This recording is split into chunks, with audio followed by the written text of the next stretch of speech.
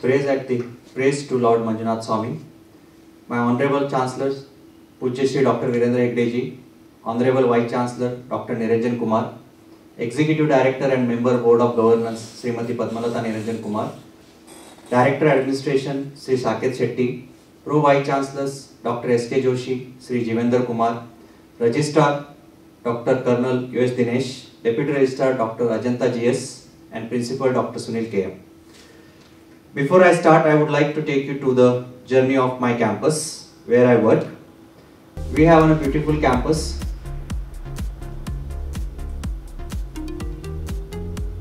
which includes SDM Medical College. We have big hospitals which include specialties and super specialties. We have big libraries which is medical, physiotherapy, nursing with different varieties of books and journals which are recent. Is the Department of Physiotherapy. We work in the different areas, pediatric,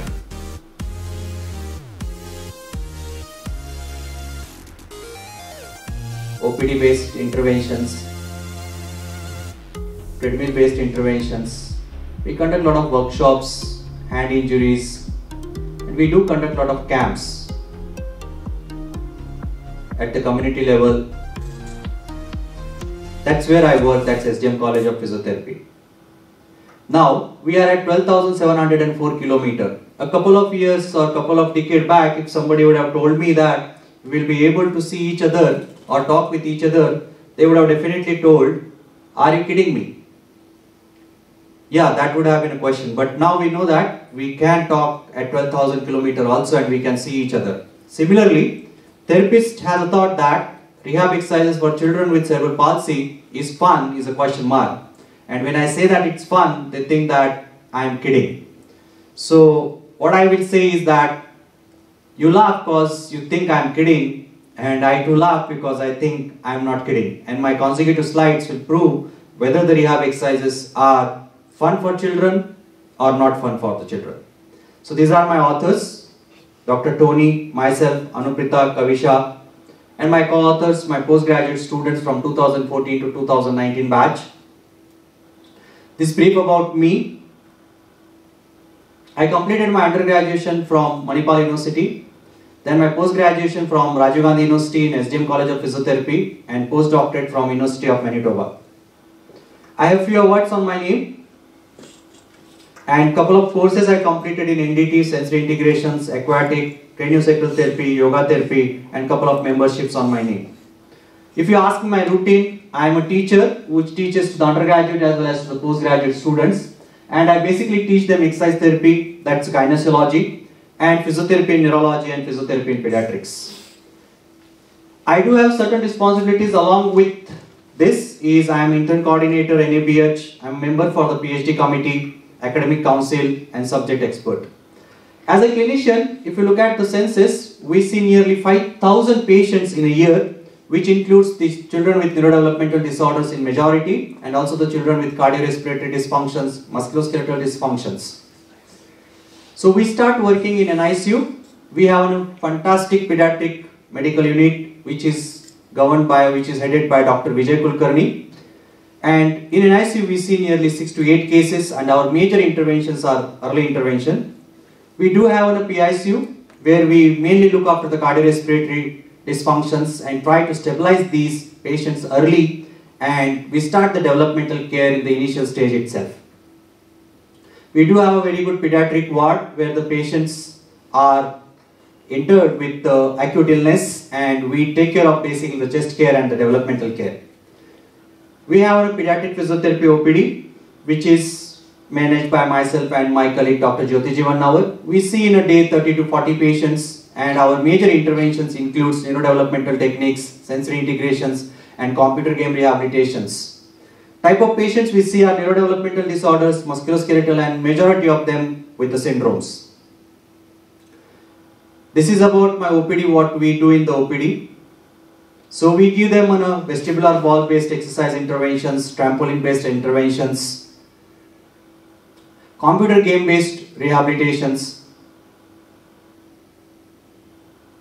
We do go to the government orphan school and we treat the children with neurodevelopmental disorder there.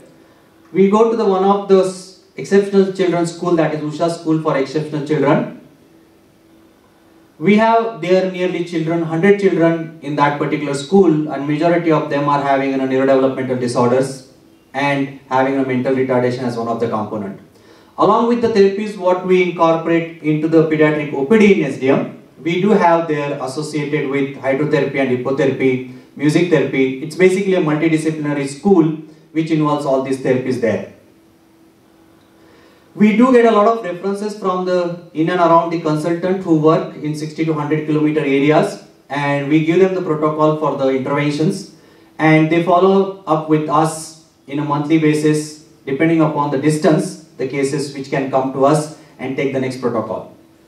Since the today's presentation is focusing towards the neurodevelopmental disorder and the majority of, of the neurodevelopmental disorder is, is a cerebral palsy. So as we know that now there is a little increase into the inter, in, increase into the prevalence that is 2 to 4 per thousand live births. And if you take in a scenario in India, there are 12 million children which are suffering from neurodevelopmental disorders, of which 10% are from the hilly areas, 13% are from the urban areas and 18% are from the rural areas. With this I shift towards the next presentation that is the research studies. I have 32 publications done, a few of them which I will be touch upon today.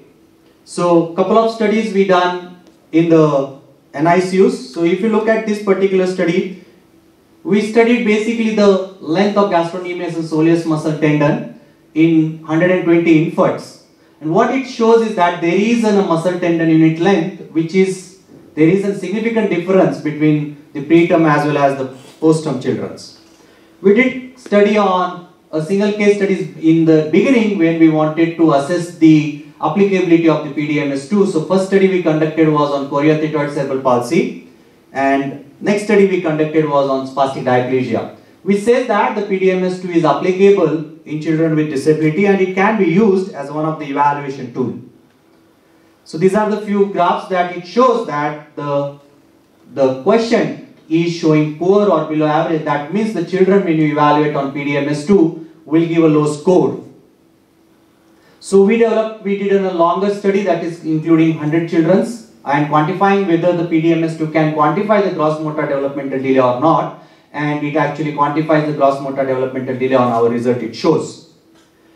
Then we did couple of studies in a normal school where we studied the hypermobility between boys and girls and we tried to find out what is the correlation for this hypermobility.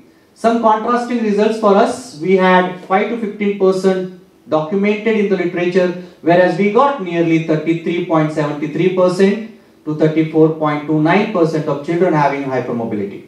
When we tried to find out what is the reason for it, what is the correlation for it, we found that, that it was more prevalent underweight children. So probably the underweight was one of the cause which we found for that.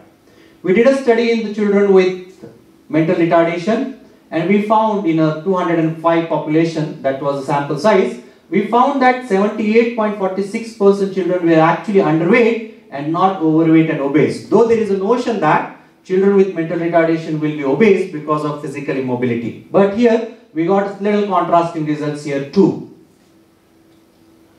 Another study we did it on nocturnal enuresis. First we developed the reliable and valid questionnaire between 6 to 15 years of children and later we studied the prevalence of nocturnal enuresis in 16 to 15 years.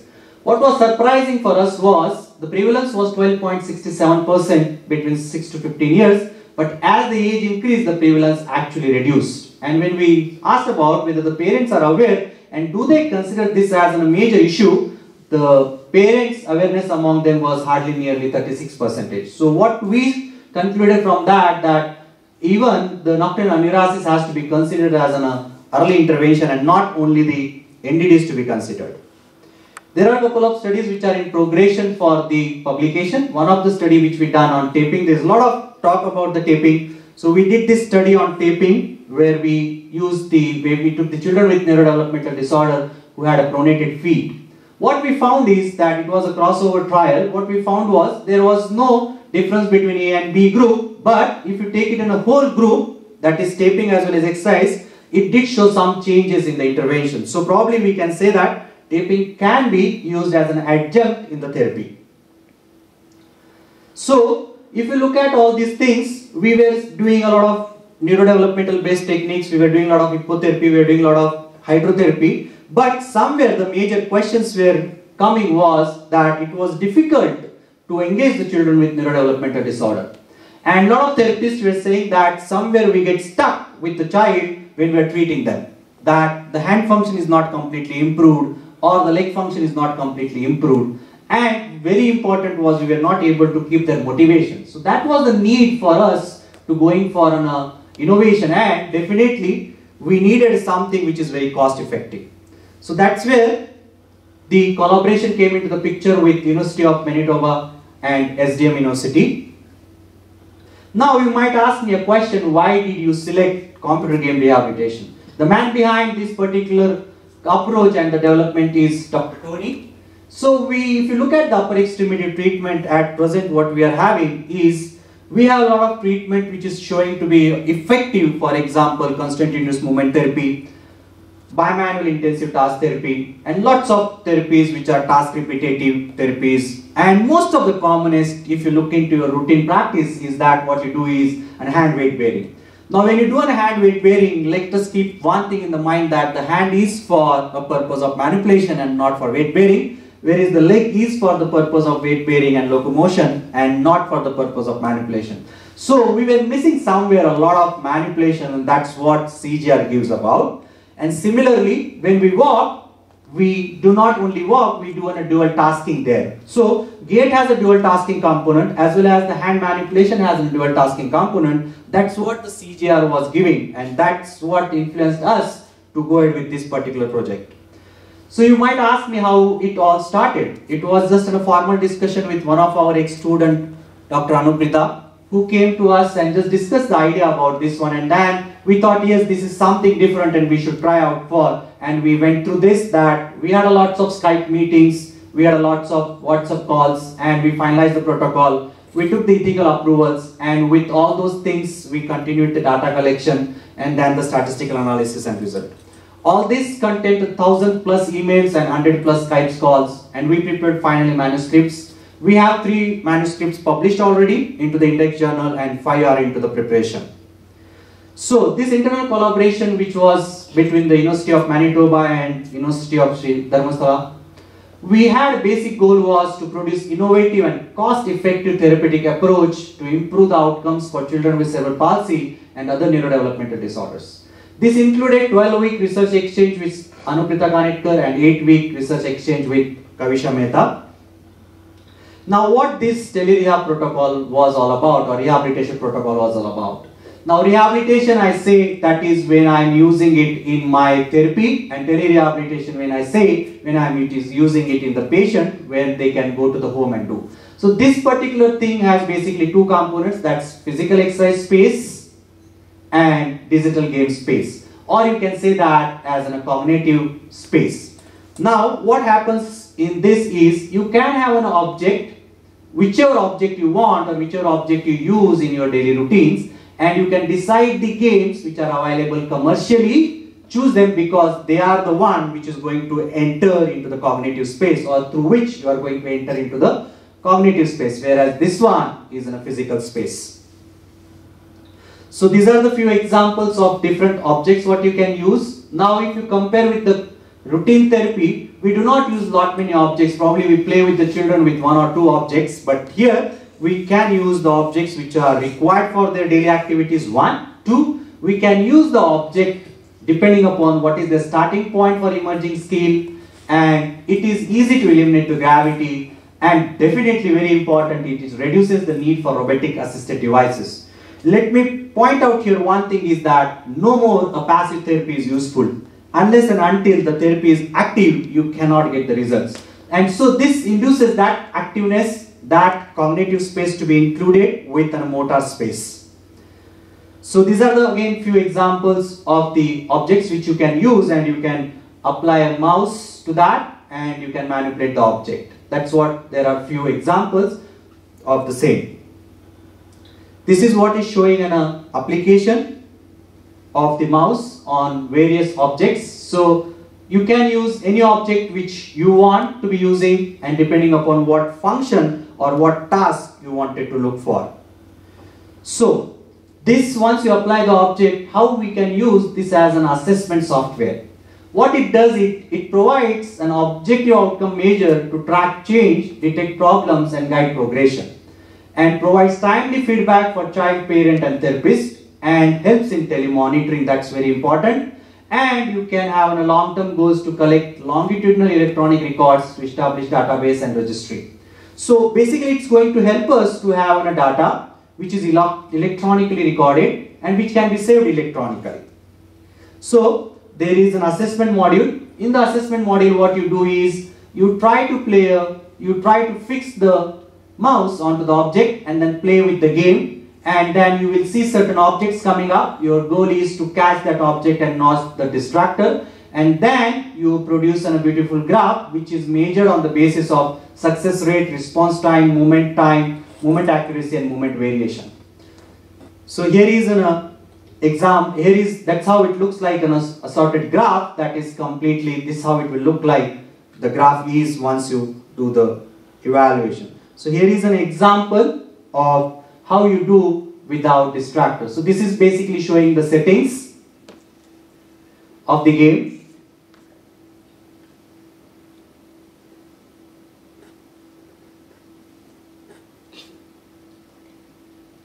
So it gives you the flexibility to select what kind of setting you want to do and that will decide what kind of precise movement you want to do. And then you give the name to the file and then you play with the object. Now here there is no distractor. The job is that you are supposed to catch the ball. So the, the patient will be moving the hand with the considering this is an object that's a ball and then once it's played for to game and then you get a graph which is measured based upon how it was that is moment accuracy what was the response time what was the onset of time that's all it that all details of that it will be giving and then you can have without distractors and you can have with distractors so again here showing the same is you have on the settings. Once you fix up with the settings that is again what sensitivity you are keeping, what is an amplitude you want in the movement, how precise you want the movement, how large you want the movement, where exactly you want the movement, whether you want the movement happening at the wrist, whether you want the movement happening at the shoulder, or whether you want the movement to be happening at the elbow. So similar object, now if you see there is a distractor, okay, or the object which is coming is in a different way. And once the game is over, you can see the graph. So you can see the previous graph versus this. So this was little haphazard as compared to the previous one because there was a distractor there. Similarly, you can have multiple distractors coming in. So likewise, you can assess the different ways and then you have a tracking mode. In the tracking mode, what you do is you try to use again similar way go for a setting file name. And now what you do in this is you try to fix the mouse on your head and then you are playing with that. So here is the object which is you're supposed to be going along with the objects so here do a lot of using on a visual vestibular activities that is head turning and along with that you are working on the visual movements also. So that's about the visual tracking. Now, what we discussed is how do we assess. Now, when we treat, we use these different commercial games which are available on bigfish.com. And you can use these games having what therapeutic value you want. It is not that you just pick up the any game and you can just start playing with that. It all depends upon what game you want and what is the function you want. So that's why this picture is that you should be knowing what cognitive function you're looking for, what movement you're looking for. Depending upon that, you select the game. So here is one of the example of aquaball where you play. That's one of the very simplest or the beginning game what we use in the rehabilitation. Now, this is in a background what I gave. Depending upon this background, we conducted a study. The first study was to establish the reliability and validity of a computer game-based assessment tool for object manipulation skill in children with cerebral palsy, that is NDD. And second study we did was uh, exploratory RCT, and we took 35 children in our reliability validity study, whereas 60 children in our exploratory RCT. So in our RCT study, we studied the test retest reliability and convergent validity. Now we had, this was our inclusion and exclusion criteria, where we had GMFCS level 2 to 4 and MACS level 2 to 4. We did evaluate the children on Mini-Mental assessment scale and we make it sure that the children which were included are not having any cognitive deficits. They were the children who were having a mild cognitive deficit. So we excluded the other children who had the impairments of auditory visual systems or fixed deformities. So we had 35 children in them and MACS level average was 2. So if you look at the objects which we used, a few of the objects which I showed, we used four objects for that. That is peanut ball, then soccer ball, then cone, and thick plastic ring, and tennis ball. These are the objects which we used, and we did these movements analysis for the test retest reliability, and it was a fantastic results what we got, and we showed that that in the convergent validity about the quest, you can see here with dissociated movement, 19 of 20 possible comparisons were not significant. And with graphs, 16 of 20 possible comparisons were not significant.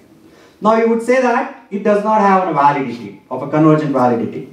What I would suggest, what I would say here is that the convergent validity is not there because what Quest assesses on the five of its component, the neurofunction software evaluation does not assess that because Quest assesses basically the dissociated movements or graphs, whereas this particular our tool assesses about the reaction time, how precise the movement was, how did the movement took the onset, and how movement variation was, which none of these assessment tools uses that. That's where the convergent validity did not had any significance with that in our study. Similar results we found with the PDMS2 too also. Why? Because in PDMS2, we have a couple of objects which we use. Maybe it's a a cube or sometimes a pen and a paper that's what you use so the fine motor what you are using for manipulation task is very limited items whereas in the NFV software there are larger number of items that's why 19 out of 20 possible comparisons were not significant similar thing has happened with the visual motor scores also so what I would like to conclude here is that though we had majority of the reliability was between 0.6 to 0.8 and high observed high minimal detectable change values which were ranged between 30 to 60. That was the group means. A single case study was also produced on the similar background that is a computer game assisted repeated task practice based on based upper extremity on a single case study in a hemiparetic child.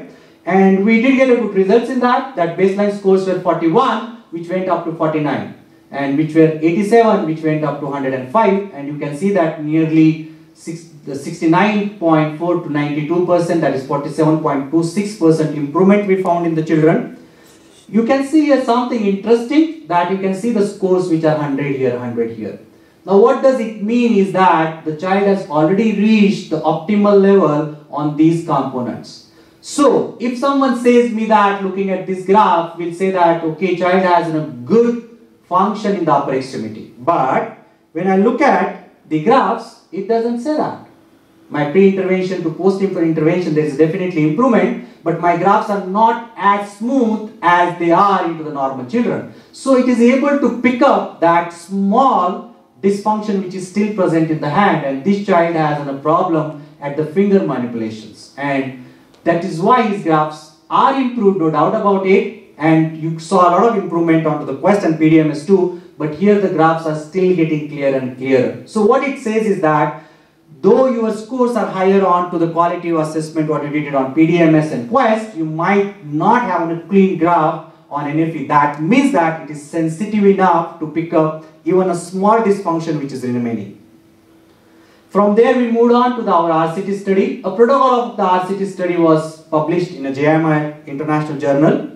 Our RCT study consists of 45 minutes of therapy for 3 days per week for 16 weeks. We had primary outcomes as a PDMS2 Quest and secondary outcomes as our NFU or computerized hand arm assessment tool which I am talking about. We had children, all children who had NDD. We included again GMFCS MACS level and we used the help of, we took the help of our psychologists who helped us with an uh, evaluating on Vineland social maturity scale which included, which excluded the children from cognitive deficiencies which are moderate to severe in level. So there was a multidisciplinary team working for that. And then our treatment protocol include the integration of principles of CIMT, habit, play therapy, repeated practice measures. Now you would say that here CIMT is not really forced. See the child is using one hand, that's what basically the CIMT wants to tell me that constraint induced movement therapy means I am constraining in a good hand and asking an impaired hand to be working. But what was happening in a routine therapy was that whenever I was constraining in a good hand, the child was actually getting frustrated. Similarly, the parents were also getting frustrated with this. That's what was the one which we could eliminate from this one. So these are the certain our treatment protocols and we use rehabilitation games. This is just to show you our treatment session protocol. We did a consent form and then we had an individual assessment forms which were filled like this on a daily routine basis and then each file was prepared for every child and kept it. Now just to show you what are the certain objects which use here, only I am showing you the seven objects which I have used. Now if you see at this object, a bolster, this is basically when we wanted to look towards the child that I wanted an, basically an elbow extension and getting a shoulder stabilizer, that's where I'm using a larger object rather than using a smaller object. But as the child develops the more and more control over proximal, I go more distal. So in this child, there isn't a good proximal control, so I am using basically a distal one where the child is manipulating on a cone with the supination pronation with using the hand. Here I am going for a bimanual task where I am using a peanut ball. Here I am using a ring. Again, as I said, it depends upon the control how much I have got it. Simulation device, which is basically working onto the fingers. And again, on a small ball for bimanual function. And when I get a good amount of control and when I wanted to use fingers, I can use uh, one of the object of the pegboard what we use in routine. So if you look at the pre and post graphs, you can see them, the pre-graph, see the pre-graph how it was very haphazard I would say, or by only see you can say that no this graph doesn't look really good, whereas this graph really looks good. So that's become so objectively to be quantified on this basis that pre to post there is a change. Okay, similarly, we did the evaluation on our quantitative study that is success rate, movement error and average movement onset time. What we got the results is that we got a experimental group showed a larger improvement in success rate as well as on the average movement onset time. So basically the control group had a little lesser improvement as compared to the group which was experimental that is computer based game rehabilitation.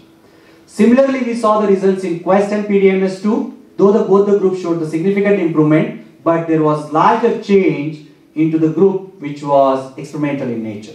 So that's what were the findings of our quantitative study. We did take the interview of our parents who were involved in these studies and we asked them what did they find or what was their opinion about this. What was the, what they said was that they just like the design of GRP, every game task is designed to help the hand balance and improve the hand strength and eye coordination. See, there's a lot of demand, lot of thought that the hand and eye coordination is required for the objects. Whereas in our routine therapy, we do not pay so much of attention to this one. Whereas these parents said that, that it was a positive, that they find that their child is becoming stronger now. But one of the parents said that his, this child was hate the computer and but then she was confining that after a couple of months or in a month he will be able to respond and this child really responded later on. So what we would like to say that it is not an easy for a child to immediately accommodate for the therapy. It might take two or three sessions to go for it. Very important was therapist response because I said that am I kidding today?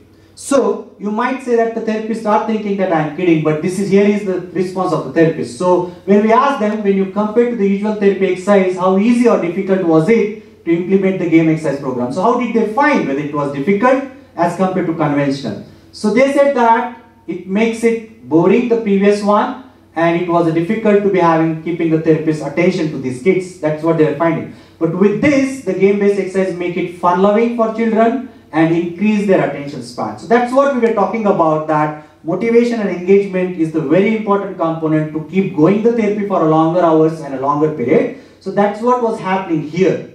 Second, it said that at usual program, the game access program was easy for them to implement and it made it easier for the therapist to get the child involved in the therapy. That's another important thing that you need an involvement of the therapist, involvement of the child. Initially, though, it became uncomfortable for them to start it, but then However, after taking few sessions, it becomes convenient and easy to use. So this is what was the response on question 2. And question 3 when we asked what qualities did the computer game based intervention possess, if any, that made engaging and fun for the children than the conventional protocol.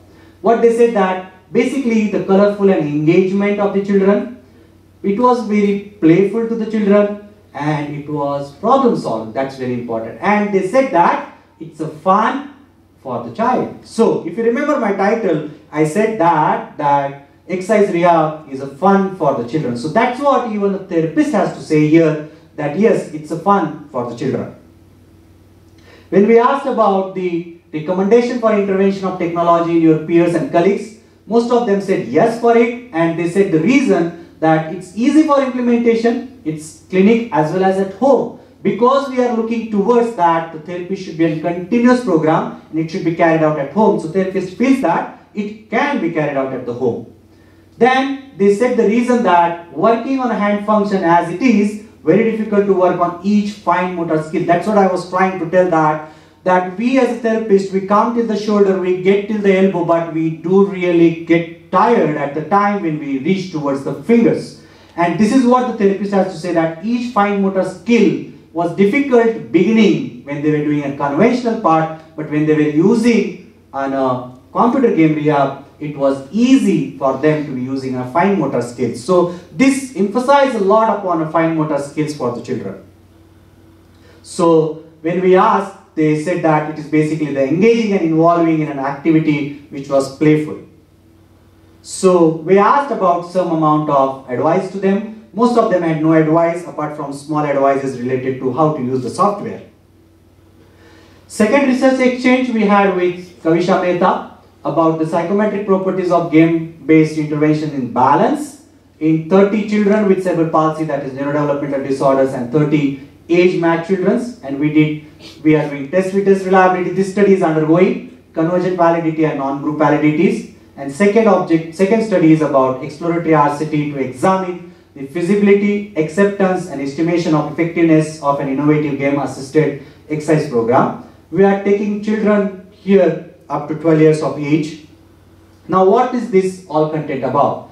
This is an ongoing project with the collaboration. We have been taking 40 children with cerebral palsy and the participants will be assigned with an, uh, randomly in the experimental as well as in the control group and it's a 12 week intervention program.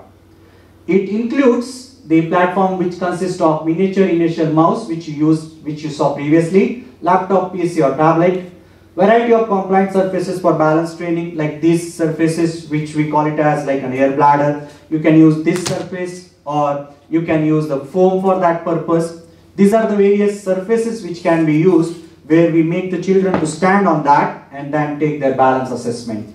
And definitely pool of games for therapeutic purpose and we use FSS software for the pressure mapping. Now what is FSS software does? The FSS software is used for recording the balance capability of an individual during various activities.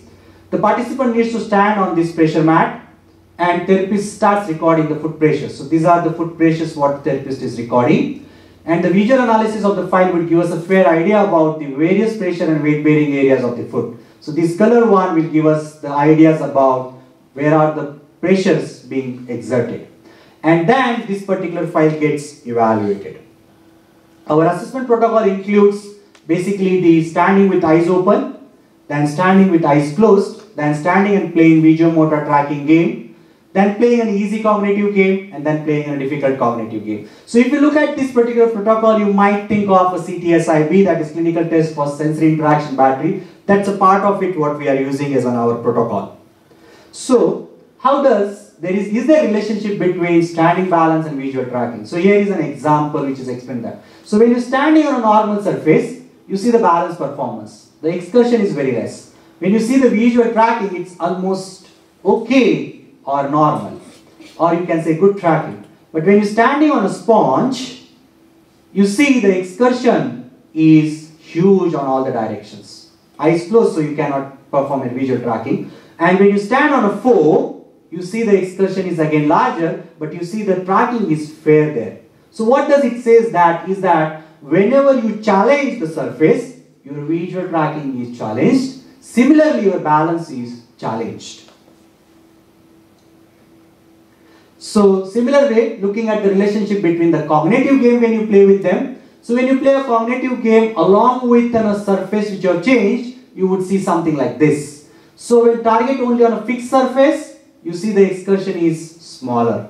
When you see a target plus distractor on a fixed surface, you see the excursion is larger than this one. But when you see a target with distractor and sponge on it, you see there is a huge amount of distraction or the huge amount of excursion which is happening in all the directions. So which again proves that a cognitive added to the balance has a lot of influence on balance. That's why dual task plays an important role when you want to improve the balance in children with cerebral palsy.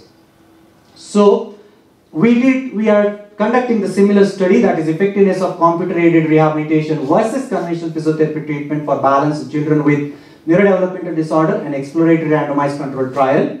This is an ongoing trial. This is how our protocol is documented.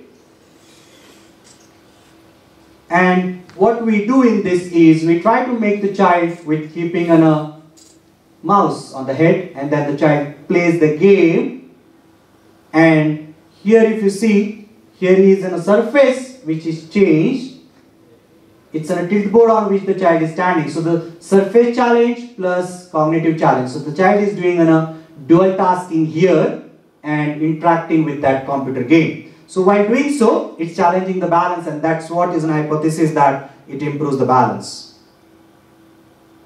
So if you look at the initial reports or initial results on PDMS2, we did almost finished, nearly finished 5 or 6 of them and 10 of them are ongoing. You can see the gain is into the experimental group is in, that S is for stationary component of the PDMS2 and L is for locomotion component of PDMS2. You can see that gain is 6, 4 up to 14 and only in one children there is no much gain as in occurred. But otherwise, if you see all the children, there is a large gain which has occurred, which has gone up to 16 in locomotion and 14 in stationary. So stationary is the where the body is stable and locomotion where the body is in movement. So what it says is that dual task will improve your gait also, that is your locomotion also. When you look at these PDMS2 scores into the control group, look at the gain. Almost there is no much gain into the conventional group, though there is a one of the client improved almost up to 12. Otherwise, all the children you can see, there is no much gain has occurred post-intervention. We did take a pediatric Berg balance scale and you can see the gain in the control group as well as in the experimental group. Experimental group you can see a minimum up to 4 which has gone up to 12 whereas into the control group it's no gain or maximum is 4 gain. So the primary result shows that, that dual tasking or having this particular cognitive based rehabilitation including into the game based rehabilitation improves the balance of the children. And this is how the pressure map data looks like that the result clearly states that there are improvements in the total path length values from pre to post 8 weeks in both the groups and especially more into the experimental group and when compared pre to post 8 week result concluded that post results were better. So we are into the continuation of this particular study and not yet completed. Let's hear to the parents what they wanted to say about this particular thing. I'm Alize Rukri's mother. We have been coming here for her physiotherapy sessions since back 2019. Uh, we came here because she had developmental delays due to which she could not uh, sit without support crawl and also she was not able to do uh, much things which babies normally do. Uh, so once her physiotherapy session started, she started gaining her strength due to which she started uh, sitting without support and she is now able to crawl. She speaks very clearly also and she walks without minim- without support for few steps and with minimal support she walks very nicely. Uh, along with this, the based, using the computer-based rehabilitation, her balance has improved and she is uh, weight bearing on her legs very very uh, nicely. Uh, this all has happened because of uh, very good support from all the uh, doctors uh, under, under the guidance of uh, Dr. Sanjay, who keeps an eye on uh, her uh, and monitors time to time. So that's what the parent has to say. We have a couple of uh, another studies developed that is development of hand function rehabilitation platform for children with cerebral palsy, acquired brain injuries. We took 50 children with CP and 50 healthy children to form the normatives and we used cone, ring, tennis ball and fork as an object manipulation. So that's how it looks like when we did a tracking mode. Now you see here a healthy child is having a good tracking whereas the child with hemiplegia has a distorted tracking here. So what is this tells about that see these are the different objects and this is about the tracking or what we use. Now what does it say? That most of the time though the child is having you know, visual issues because of which he has a poor postural control which is getting usually ignored. But this graph clearly says that that the children with hemiplegia for example has many issues with the tracking that means visual issues. So this can be sorted out when you use these computer-based game rehabilitation protocols because you need to have a visual as well as the motor that is eye-hand coordinations for that. And you can see how does the healthy child performance was versus the child with cerebral palsy. You can see the graph which is very neat and clean versus a graph which is very distorted in children with cerebral palsy. And when we did the with the comparison with the normal children, we got on surprising results. That was the significant difference in all four outcome measures in the control group and children with MACS 1 level. Means what does it say is that you say that the MAC level 1 is almost to the normal. But in our case, MAC level 1 also showed the difference as compared to the normal children. Though there was a difference between cerebral palsy and the normal children at all the levels, that is success rate and movement error, but surprisingly, MACS level 1 also had the difference between the uh, normal as well as the MACS level 1. So that says that this tool is particularly maybe able to take out a very sensitive or very deficient and very remaining part of the component of the dysfunction also which the MACS on grossly when we evaluate and say MACS 1 may not be able to pick it up that. So you might say that I might have to revise about it but yes then that's what was our finding of the these normal children and children with cerebral palsies. Now we are doing one of the pilot pilot study on telerehabilitation. As you saw, the therapist also said that it should be a carryover towards the home. So we have been recruited now total six children here, of which three we have completed and three are recruited in Canada, Winnipeg. So this is what is our telereha protocol looks like. Now if you look at the results of this one, you can see that the success rate which was 46.7%, 47% in the beginning went up to 70.59%. And this is what is happening at home and we are doing in a telemonitoring. You can see that the movement error is also which was 0.46 reduced to 0.09. So there is a change which is occurring in the children in the initial stage what we are monitoring them. Similar findings with the PDMS2 and Quest. You can see that pre was 50 which got up to 52 into the PDMS. The maximum score over here is 54 to 56 actually. So there is a good range of change which has occurred. Similarly, you can see the changes which has happened between protective. For example, in Quest also at all the levels of pre versus post. Though you can see that similar thing here, the child has already reached to the plateau over here, so no much changes, but you can see in the graphs that 94 has gone up to 96% of change. I mean, sorry, that's a 96.29% of changes. So, do you still think that that rehab exercise for children with cerebral palsy is fun, or you think that still I'm kidding about it? I would say that rehab exercises for children with cerebral palsy is fun, and I am not kidding about it.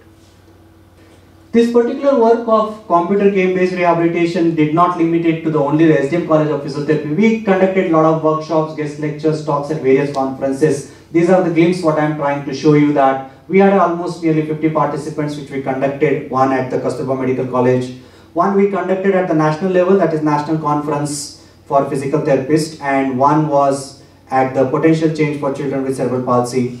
One we conducted at Keshav Seva Sadhana School in Goa. We conducted the same into the National Physiotherapy Conclave which was supported by the government that is Ministry of Ayush.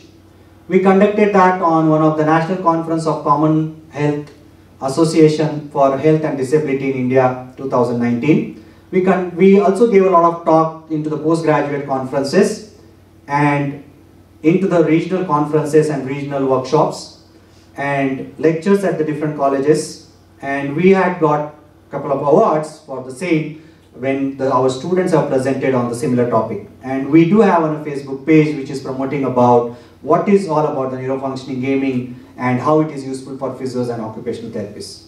Along with that everyone has some contribution to be done towards the upliftment of the profession. As a physical therapist i am.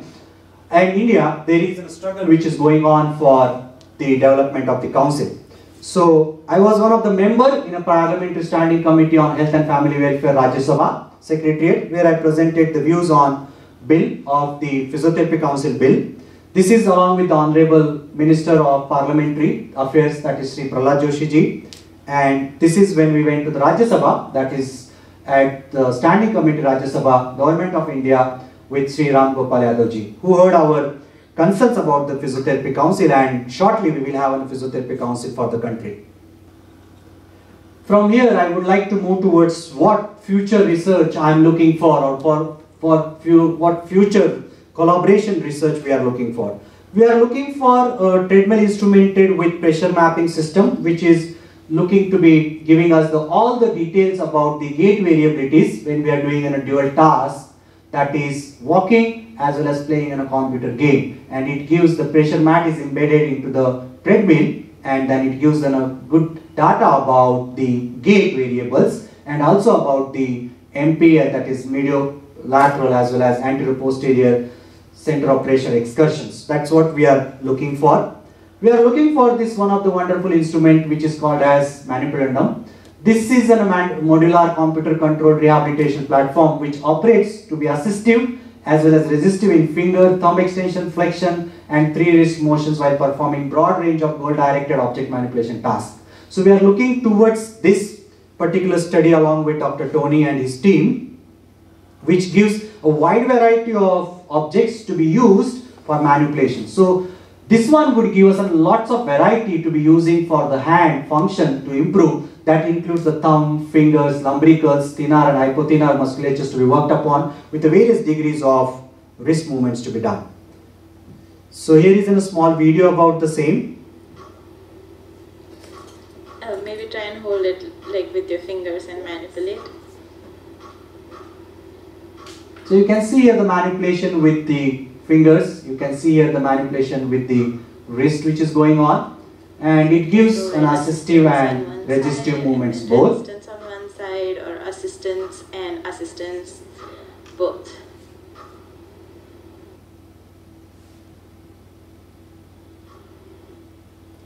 Also, we are into the thinking that we have done a lot of studies onto the ground-based interventions and we do have on a uh, hydrotherapy pool. So we would like to look into how technology is playing because that's where the world is moving today. So I'm interested or keen to know what comparative studies if we do on land based versus water and technology and which one would show on a better influence in outcome. That's what I am looking for in future. And definitely we are into the process of developing a multi-center randomized controlled trial in computer game rehabilitations where we are going to involve three to four centers to collect the data and see how effective this tool is what we have found it effectiveness into that. My another area of concern and research as we are all aware that autism is in rise so we wanted to develop some screening tool which is easy to administer which should be also on a digital base because we do have a lot many on qualitative based and also finding out the role of treatment strategies for developing the protocol which will be having a uh, digital implications on that. Also, I wanted to look towards early intervention and role of technology. In early intervention, we talked a lot about the positioning, kangaroo care, and all those. We have not been invented about what technology can play a role in early intervention with children. The biggest question, which is a social for me and for probably for the entire universe or world, is that one of the parent, one of the family came to me with the children with disability and asked me that, sir, I am there, I can take care of my child now. I can make him movable. But once the child is movable with some amount of deformities, and if, and if I am not there, who is the one who will take care of this child? So that's probably the biggest social question which every country is facing and how to take care of them. And I am really looking towards what best can be done for the children with neurodevelopmental disorder, which can be taken care for them for a lifetime and not only monitoring them for a period of time where they become ambulatory looking towards them as an adolescent, looking towards them as a geriatric population, how they would grow and how we can support them. So, with this, if you have any queries, you can post me on my email ID or you can post to Dr. Tony on his email ID. We will be happy to share or to answer your queries, if any, on this particular topic. So with this, I would like to thank the University of Manitoba, Dr. Tony and his team and my university that is Sri Dharmasthala Manjunatheshwara University, whole administrative team, my postgraduate student team. And I would like to say that not to keep only a physical health but we do need a brain health. And that brain health is nothing but a neuronal fitness. And while having a neuronal fitness you should have a fun while doing that. And what I learned from this collaboration is that alone we can do so little but together we can do so much. And definitely if hands are close together, the child can rest with uh, peace that yes, there is someone who is going to take care of me. So thank you very much for giving me this opportunity. Thanks a lot.